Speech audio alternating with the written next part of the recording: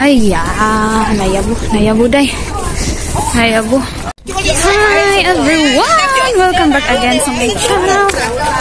This is Taiwana Vlog. So for today's video, ay pupunta tayo ng Hanghao Day. Ah, naglakad ako day kay sayang yung 4. Naghatid ako ng bag ni Ate Jo sa church. Then papunta tayo ngayon sa Hanghao. Walking distance lang, ayan lang. Then yung yung kolam is nan, andyan, ayan, ayan yung bahay namin, yan. Bahay namin, bahay ng amo ko. Then konting lakad lang is ayan na, isang station na yan ng train. Kung sasakay ka ng train is for 4.50 Hong Kong dollar. So, kalahati naman na ang nilakad ko. So, diretso na ako maglakad papunta doon sa Hanghao. So, ayan, naisipan kong ipakita sa inyo kasi last time dai may nagtanong sa akin sa unang day off ko ba daw anong ganap? Pwede ko ba daw i-share?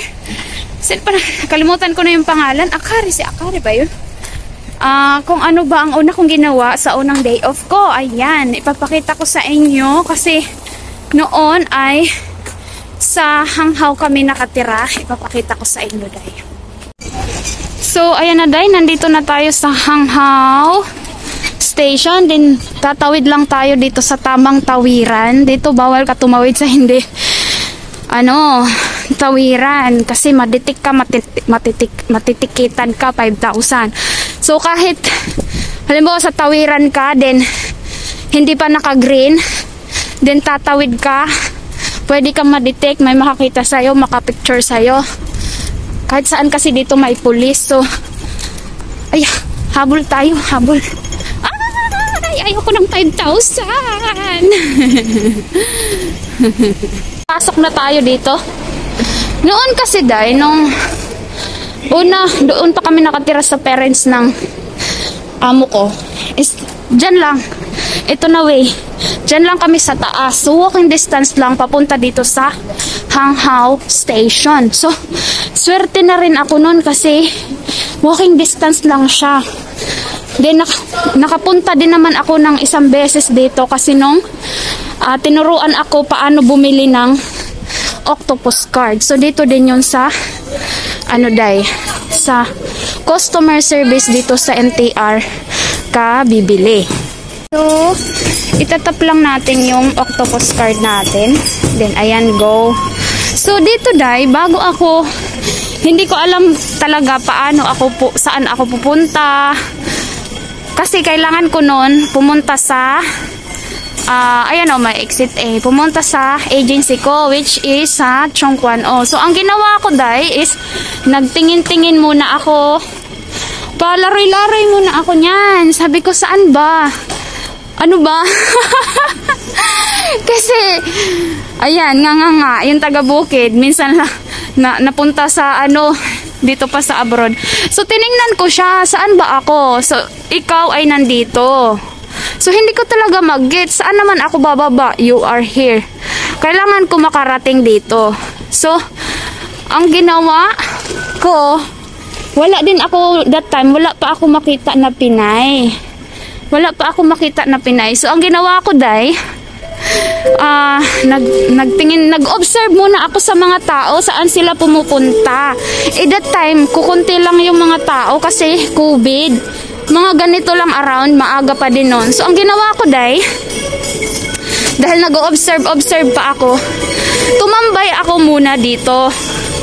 Tumambay muna ako dito, nag-ayos ako ng buhok ko. Sus, kay may mga CCTV pala ito. Ayan, kahit saan ka pala magtago, may CCTV. Ayun, no, ayun. Ayan, naikot pala yan. So, may dumating agad na, iwan ko kung pulis yun. Buti, pagdating ng pulis, ay inaayos ko na yung face mask. So, kinabahan ako kay may multa dati, 10,000 ata. So, nagkataon na, may dumaan din na Pinay. Bago lang din ata siya, nagtanong siya sa akin. Ay, nagtanong siya sa akin kung saan papuntang North Point saan papuntang North Point. Sabi ko, ate, bago lang din ako, hindi ko din alam. So, uh, bigla na lang siya tumaliko din. Nakita ko siya. bumaba, bumaba dito. Ayun oh, may sign, may sign ng train. Bumaba siya dyan. So, nagka-idea ako. Sabi ko, try ko nga bumaba doon. So, ang tanong niya kasi, Day, ay papuntang North Point. So, ito, ayan, nabasa ko North Point, Lohas Park. Then, may train pababa. So, ang ginawa ko, Day, trinay ko din siyang bumaba dito. Bumaba din ako. Kailangan mo talaga day subukan kasi pag hindi mo sinubukan, di mo nga malalaman. So, ayan. Bumaba ako dyan. Sabi ko, ano ba meron dito sa baba? kasi kadalasan day, yung, yung mga train dito ay nasa ilalim ng lupa. Bibihira. Papuntang probinsya na lang talaga nyo, territories doon sa taas. Makikita mo yung lugar. Nasa taas, nasa labas yung train. So, pagkatingin ko dito day, ayan, nandito na tayo. So, nabasa ko na agad yung to North Point. Ayan, nabasa ko na agad ito. Ayan. So, kailangan natin makarating ng Chongpan. Oh. So, sabi ko, uy, nandito na ako. Marunong na ako. di ba? So, ayan lang. Sabi ko sa inyo, una, kakabahan ka talaga. Hindi mo alam ano gagawin mo. So, you need to try talaga. Kailangan mo subukan kung hindi ako bumaba, hindi saan kaya ako pupulutin, 'di ba? Buti na lang din may nagtanong din sa akin. So aantayin mo lang, ayan na. Aantayin mo lang ang train dito. So may door siya, o open lang 'yan. So ito din kailangan papalabasin mo muna yung mga tao, ayan green, dito ka mag-aantay sa puti. Din doon na other side. Papalabasin mo muna una yung mga taong ah, galing sa train. So, ayan na yung train. Dumating na siya. So, lahat yan papuntang North Point. Then, may pwede kang mag-interchange sa Chongquan o Tuluhas Park. So, kaya dalawa siya. Ayan. Mag-o-open na yan. Si ate nasa harapan. Dapat hindi hinaharangan. Sipag si ate. Oh. Pinay din. So, ayan wala namang ganong tao. So, makikita mo dito, Day. Ayan. May nakahawak naman, Day. So, ayan, makikita mo dito. Yung train. Yung North Point is next next station lang siya. Lalabas ka na. Tapos, Day, makikita mo yung sign. Yung, alam nyo yung itong green. Diyan magsasabi kung, please exit this side. Kung ano naman, yung isa naman yung mag-iilaw, please exit from the opposite side. So, dito, Day, ayan. Diyan ako, nakarating naman ako kasi binigyan din ako ng uh, uh, paano mag-exit sa ang exit-exit A. Then, ang binigay sa akin na instruction papuntang agency is yung uh, marami kasing daan para makapunta ka sa agency. Yung isa is pwede ka dumaan sa mall at isa pwede ka doon sa labas. So, pag sa mall, ang daring pasikot-sikot. So, ang binigay ng agency sa akin na video, instruction, paano lumabas, paano pumunta sa agency nila, ay yung sa labas dadaan. So, konti lang ang kailangan mong ikutin, tatandaan. So, sabi ko, wow, di ba? Nakarating din ako. then, then yun nga, pagdating ko sa agency, si, si broker ko maaga, siya ata ang nag-o-open ng agency nila. Then, Wow, finally sabi sa akin. Pero bago yan, anda, ang haba ng ano, kasi may, may broker doon na ano din na na Pinay. So yun ang pinakausap sa akin ni broker ko kasi hirap nga ako sa English. So sabi ko, ma'am, hindi ko alam paano pumunta dyan. Kahit may instruction, eh, sabi ko. Ating, sabi niya, nakarating ka na nga ng Hong Kong.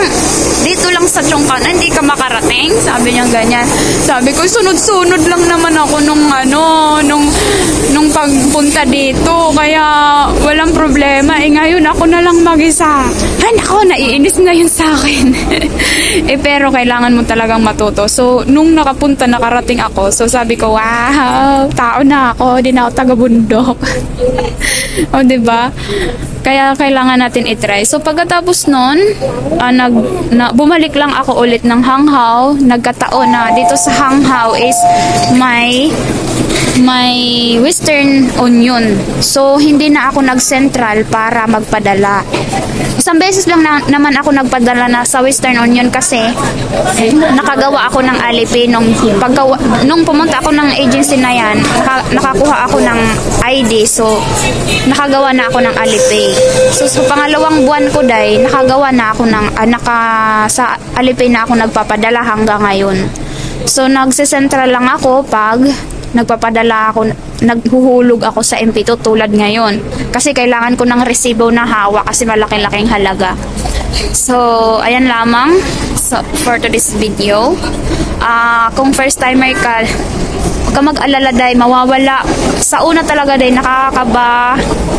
Lalo na pag ako, yan, kinaka-English ko, mahina ako sa biyahe. Pero, you need to try talaga. Kailangan mo talagang itry, ba? Kasi wala naman ibang tutulong sa'yo kundi sarili mo.